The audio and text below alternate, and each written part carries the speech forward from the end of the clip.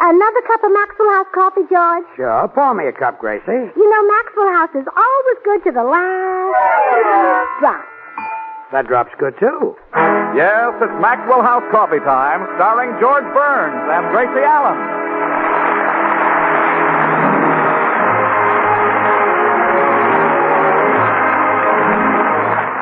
With yours truly, Toby Reed, Gale Gordon, Hans Conried, Elliott Lewis, Bea Benaderet, Frank Nelson, Meredith Willson, and the Maxwell House Orchestra, and Bill Goodwin. For America's Thursday night's comedy enjoyment, it's George and Gracie. And for America's everyday coffee drinking enjoyment, it's Maxwell House. Always good to the last drop.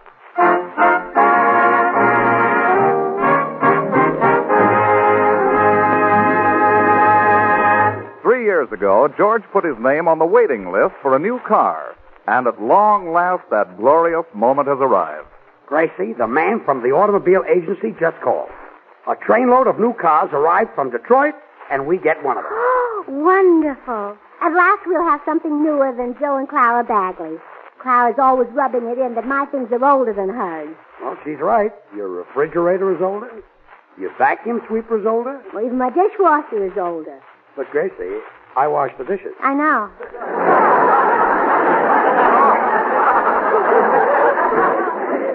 Well, grab your hat, honey, and let's go and get that new car. I can't wait to drive by the Bagley's house and show it off. Oh, let me do it, George. I'll drive right into their living room.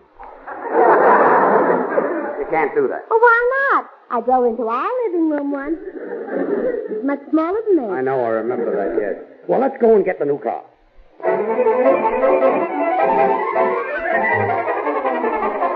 That's right, Mr. Burns. Your name's at the top of the list. And your new car's out in the service department now being checked over. Well, What'll it cost us? Oh, just the list price, Mr. Burns. We don't accept bonuses. Oh, that's fine. Now, let's see. List price on your car is $1,750. Okay. With the extras, it comes to 3400 3,400? What extra? Why, extra equipment that every car needs. Things like a compass and barometer, a radar detector, Venetian blinds at all the windows, Now, wait a minute. If you... built-in chrome-plated cuspidor. What do I want with a cuspidor? Well, sure, he can use the regular door.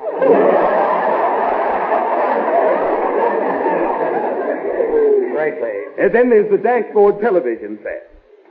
I, I can't look at a television and drive an automobile.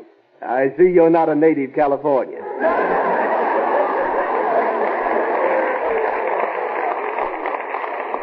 Now, look, uh, then there's the silver-plated fog lights that go on the front of the motor.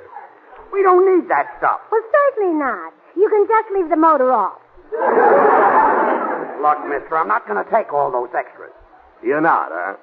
Well, what do you know? I've been holding the list upside down. Your name's on the bottom. Take it, I'll take it, I'll take it. I'll pay anything to get a new car before Joe Bagley gets one. As, when will the car be ready? About an hour. They're just installing the garbage disposal unit.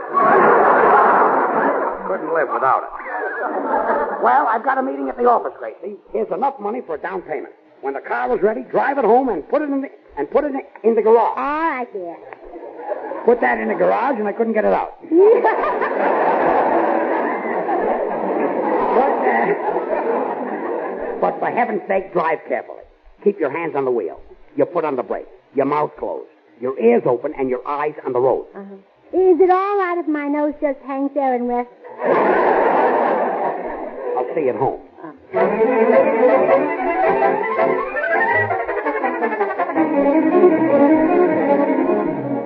Meantime, George's arch rival, Joe Bagley, is hearing the news at Pop's Cigar Store. You mean to say George is getting a new car before I get mine? Yeah, yeah. Gracie's waiting down to the auto place right now to drive it home. Darn it. I'd give anything to get my hands on that new car. Well, now I'll sell you my car, Mr. Bagley. It's as good as new, latest model made. Latest model what? Stutz Bearcat 1918. Got a raccoon tail on the radiator cap. Oh, Pop, Nobody would be dumb enough to buy a 1918 Stutz Bearcat. It's not. Wait a minute. Gracie would. Yeah, that's it. Pops, I think I'm going to wind up with George's new car. How much do you want for your Stutz? Well, now it's in A1 condition. How much? Auto prices are sky high right now. How much? Got to make a little profit on it. How much? Twenty-five dollars. All right, here's your money. Where's the car? Parked out in front. Now you be careful when you get into it, Joe. Don't sit on my ukulele.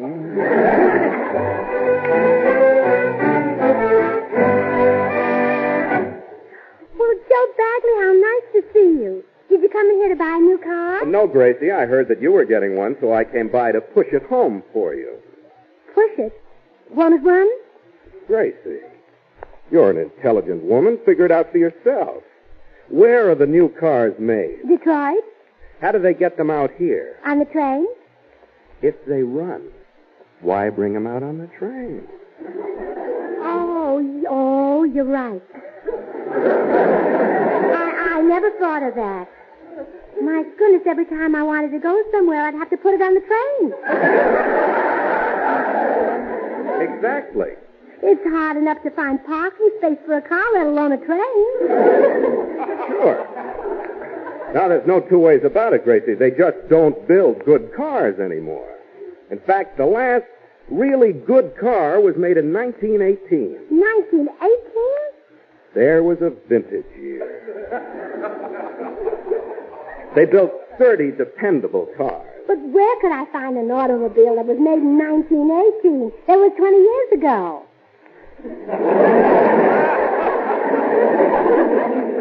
Thirty. No, 20. I know because that's the year I was born, and I'm 20. My mistake. But getting back to 1918 cars, I'm afraid I have the only one in town. There it is, parked out in front. Well, I don't see it, Joe. Is it behind that concrete mixer? That's the car. Oh. Ah, they don't make them like that anymore. I didn't know they ever did. That's a genuine Stutz Bearcat, made of the finest steel smelted in Pittsburgh. There's a car that'll run a million miles. Really? It did it once, it can do it again. And what a historical background that car has got. It was built in 1918, the year of the armistice.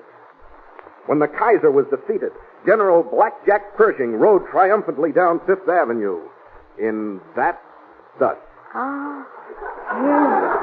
I, I, I don't suppose you'd want to sell it, huh? Gracie would be like selling my own wife. Yeah.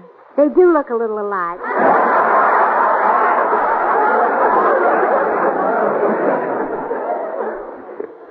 Darned if they don't. All right, Gracie, you can have it. Oh, thank you, Joe. You're making a great sacrifice. How much is it? You couldn't possibly pay what it's worth, so take it for nothing. Just give me $25 to transfer the ownership. Then I'll give you my white slip. Oh, no, the car's enough. I won't take your underwear. Oh, uh, excuse me, Mrs. Bird. Yes? Your new car won't be ready until tomorrow morning. We're removing the speedometer to make room for a mixmaster. Uh, Here's the priority, which will entitle you to the car when it's ready. I'll see you tomorrow. Uh, but Mr. Oh, dear. Will he be mad if I don't take the new car? Yes, he will. Gracie, I'll carry my sacrifice even further and buy it myself. Oh, Joe, you should. In friendship's name, I'll do it. I'm a skilled mechanic. I can probably make it run. Oh, George, I'll never forget you for this. Here's the priority for your car. Thank you. Here's the crank for yours.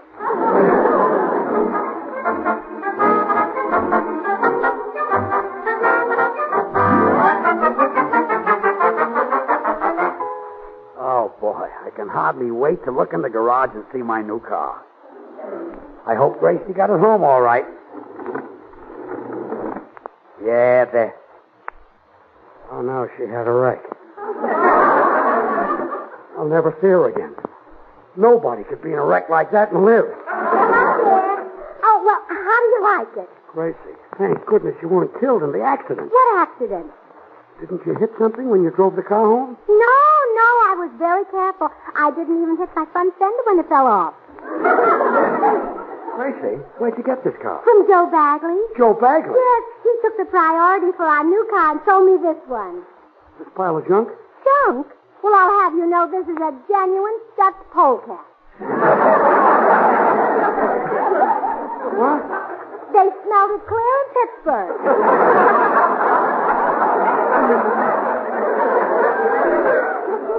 I don't doubt it. And it has a historical background, too. In this car, General Pershing defeated Henry Kaiser in a game of blackjack. This is murder. Howdy, folks. Oh, Mr. Judson. Hiya, Tex. I, I was passing by and seen you out here in the garage. Say, uh, say, ma'am, where'd you get the old relic? I met him in vaudeville.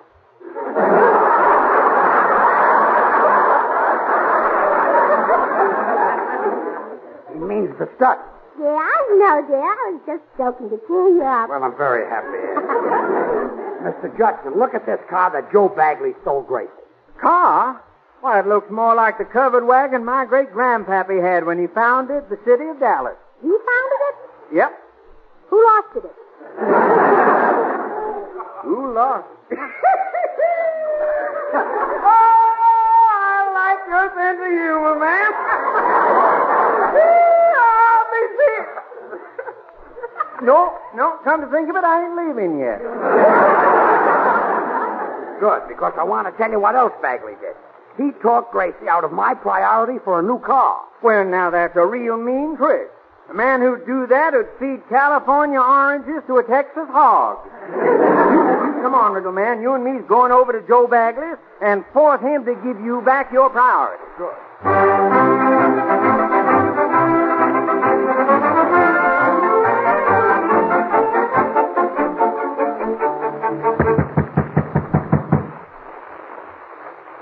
Oh, hello, George.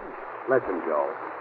Either you take that old dust and give me my priority, or Mr. Judson here is going to beat you up. That's right, Bagley. Anyone who cheats the friend of a Texan is in for a licking. Say, what part of Texas y'all from, partner? Dallas. Why? Well, I'm a Fort Worth boy myself. Huh? You tell.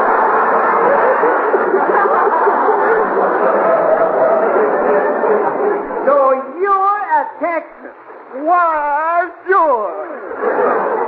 My pappy's got seven oil wells. Oh, I- I'm awful sorry to hear your family's on relief. Wait a minute. Mr. Judson, you came over here to whip him. What did you say, Yankee? This man cheated me. Why, you falsifying little weasel. I'd skin you alive if I was sure that you was. If you were sure that it. oh, I like your sense of humor, partner.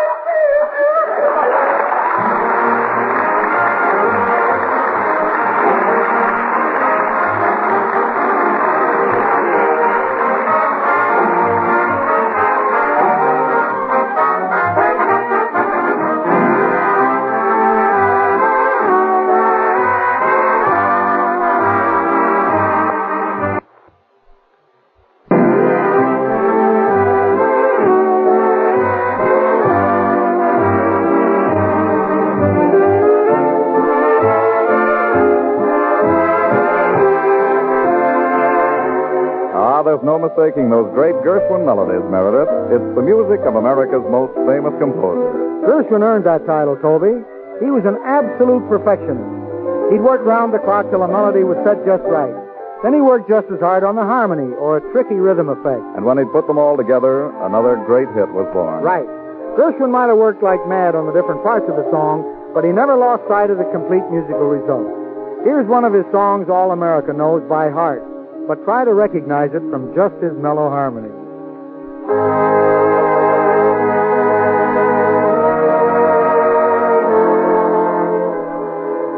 Or now, with this rich counter melody added.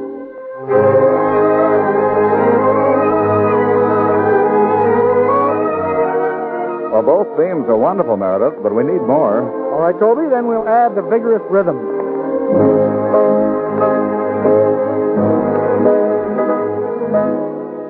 And now we'll blend in George Gershwin's melody and complete this favorite of favorites.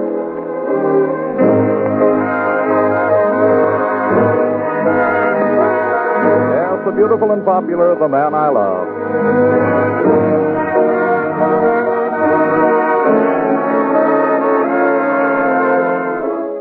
Friends, you see how America's favorite songs demand the expert blending of many perfect orchestral parts? Well, it's the same way with the creation of America's favorite brand of coffee, Maxwell House. Not one, but many varieties of choice Highland grown Latin American coffees must be blended to achieve the satisfying, good to the last drop flavor of Maxwell House.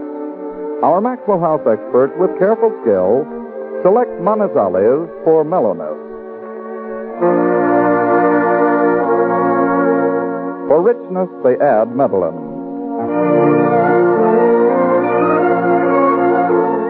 For vigor, they select other choice coffees.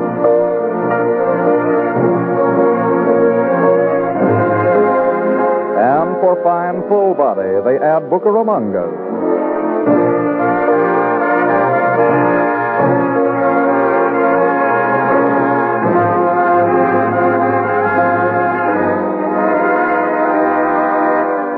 All blended in one great coffee, radiant roasted to flavor perfection, and brought to you vacuum packed and roaster fresh. Tomorrow, discover the extra flavor, extra satisfaction of America's favorite brand of coffee.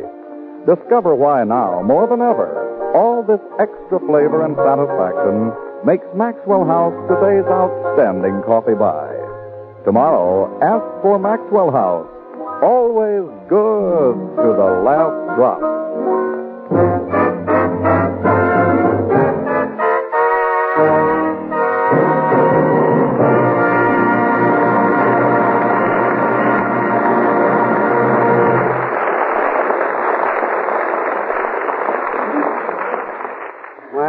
Great. Bagley's going to get my new car, and I'm stuck with a 1918 Stutz bed Oh, now, George, stop worrying. with a raccoon tail yet. I got you into this, and I'll get you out. Got any ideas? Oh, I've got so many ideas in my brain, I can just rattle them off. You're talking to a real rattlebrain. that didn't sound right, did it? Did to me. Well, I'll go over and see if Bill Goodwin can help me. I'll see you later, dear.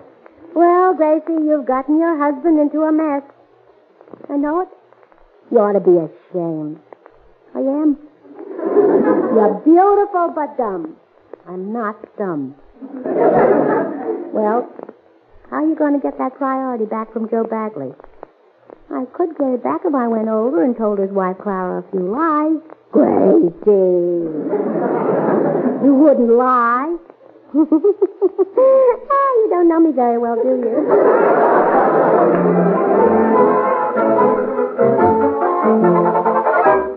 I'm glad you dropped by, Gracie. I want to thank you for giving Joe this priority for a new car. Oh, that's all right, Clara. Just give me half the bobby pins you find in it. Bobby pins? Mm-hmm. Gracie, are you insinuating that Joe might pick up girls? Oh, no, no, no. It's just that girls can't resist the new cars. Why, when one drives by, they all hop on it. They do? Sure, haven't you heard of a car hop? But Gracie... Oh, now, there's nothing to worry about, Clara. They're mostly young college girls around 18 and 19 with sweaters and short skirts. Oh, but Gracie, those college girl flirtations are harmless. Of course. Why, I was a college girl the first time Joe dated me. I remember we just got in his car and drove to the beach and I'll kill him.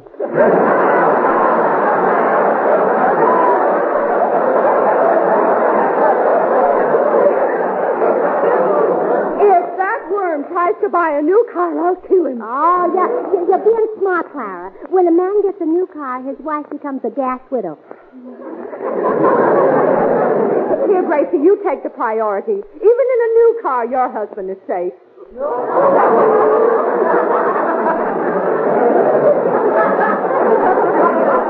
And as for Joe, I'll get him the oldest, most broken down car in the world. Well, there it is, parked in your driveway. Goodbye, Clara.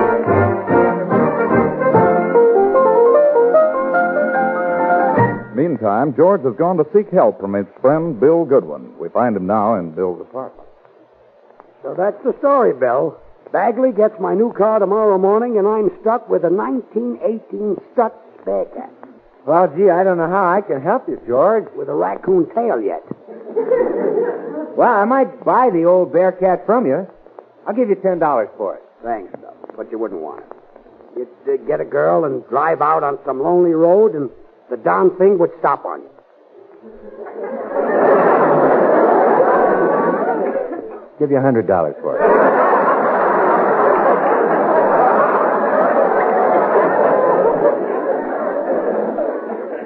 Bill, it hardly runs. It's got no pickup at all. I'll provide the pickup. It'll be loaded with dames in no time. I doubt it, Bill. Looks like a tin can. You know something better to fill with tomatoes? Well, okay. Come on over to the house and you can have a look at it. Well, ring for the elevator while I grab my hat. Okay.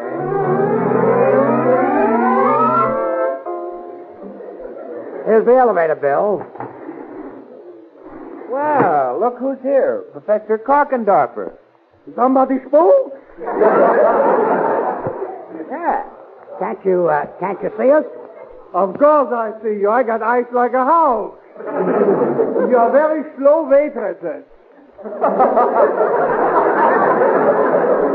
Waitresses? I've been here in the coffee shop 15 minutes, and no one has taken my order yet.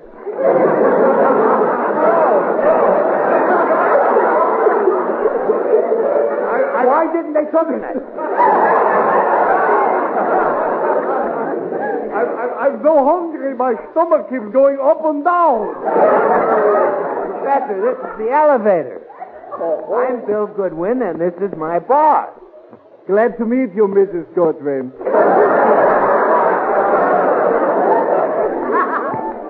I'm George Burns. You should get glasses, Professor. Who needs glasses? I got eyes like a hawk. My wife had eyes like a hawk. Wouldn't be stuck with that bear cat. Beer cat? Yeah. She bought a Stutz bear cat with a raccoon tail yet. Why, that's priceless. For that, I would pay $2,000. Two thousand dollars. Sure, to add to my collection. Oh, boy. This'll turn Joe Bagley green. Professor, I could kiss you. That'll turn him green. Come on, let's go home and, and get the bear cat. Well, hello, Bill. Hi, Oh, hello, Professor Korkendorfer. Somebody spoke? Gracie, I've got wonderful news. Oh, no, let me tell my wonderful news But first. this is- No, I got back the car priority and sold the stuffed bear cat to the Bagleys. Now, what's your wonderful news?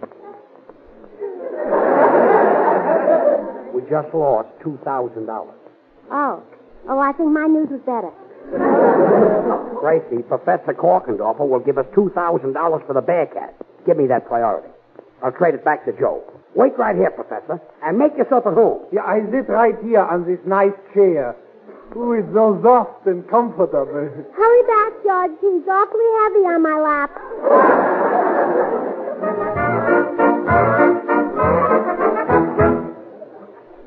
I've been waiting already an hour for your husband to bring the beer cat.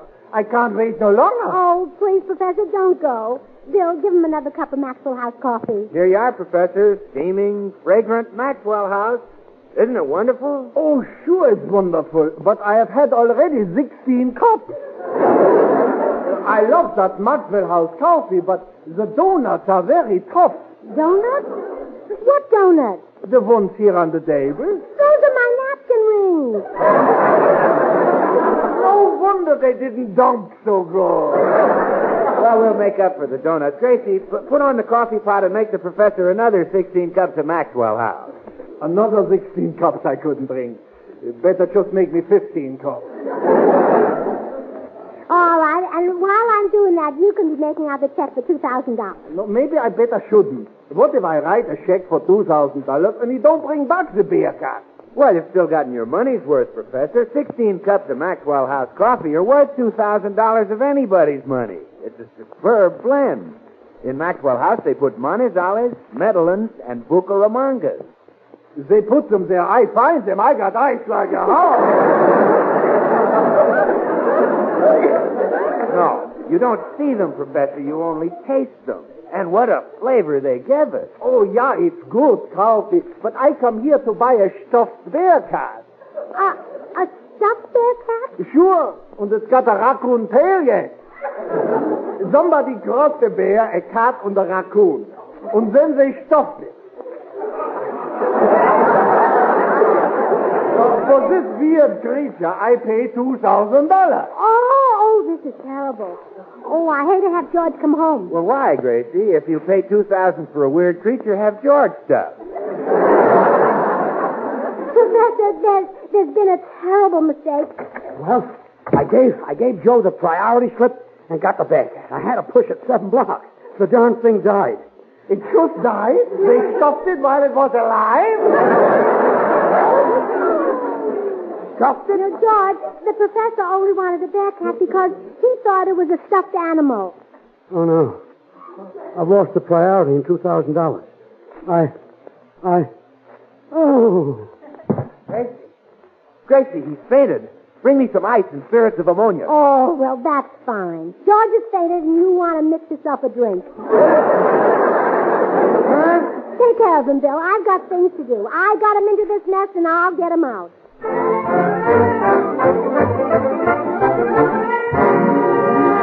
After a sleepless night, George received a surprise visit early the next morning from Joe Bagley.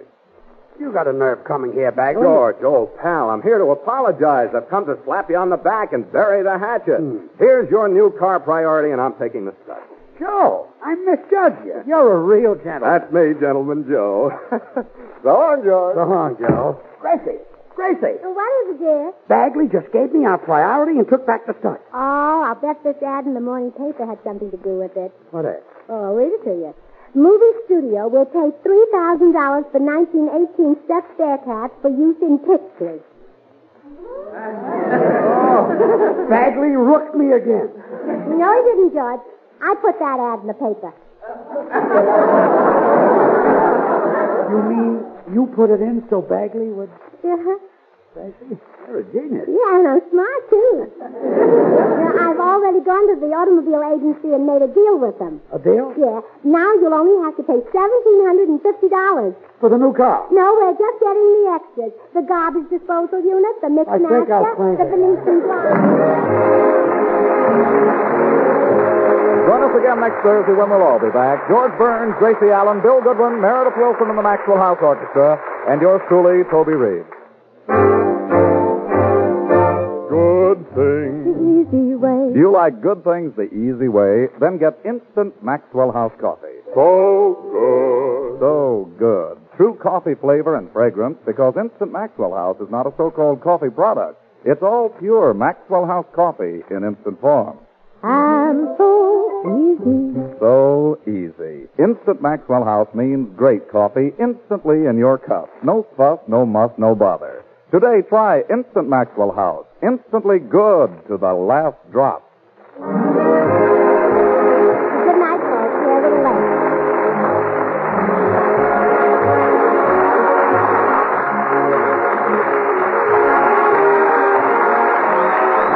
Until next Thursday, good night and good luck from the makers of Maxwell House, America's number one preferred brand of coffee. Always good to the last drop. The George Burns and Gracie Allen Show is written by Keith Fowler and Paul Henning. And now stay tuned in for Noah Webster Says, which follows immediately over most of these stations.